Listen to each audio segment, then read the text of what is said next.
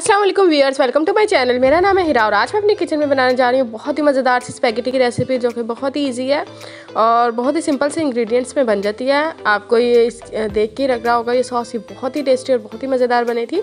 तो आइए स्टार्ट करते हैं। इसके लिए मैंने ले लिया है चॉप्ड गार्लिक यानी लहसन। इसको मैंने ऑयल के अंदर हल्का सा फ्राई कर लिया था। साथ ही मैंने इसके अंदर डाल दिया है 300 ग्राम चिकन और अब हम इसको भी फ्राई कर लेंगे।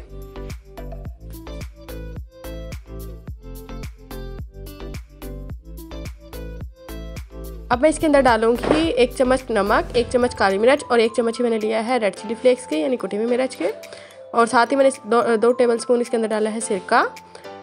टू टेबल स्पून ही मैं इसके अंदर सोया सॉस डालूँगी और इसे अच्छे तरीके से मिक्स कर लूँगी।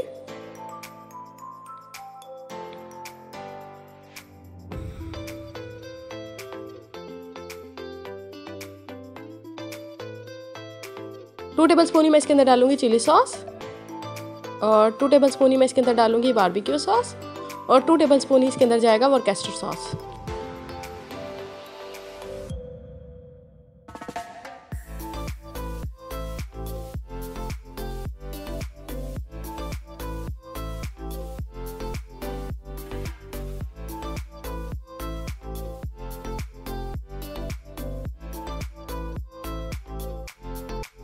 जिसमें मैंने बंद गोभी, शिमला मिर्च, गाजर और हरी प्याज लिया है।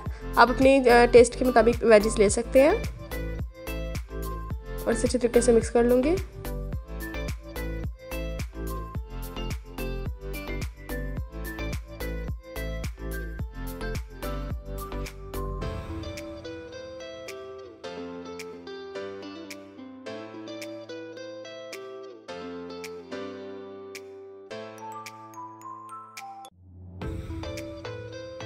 साथ ही मैं इसके अंदर डालूँगी बॉयल हुई हुई स्पैगेटी और अब हम इसे अच्छे तरीके से मिक्स करेंगे।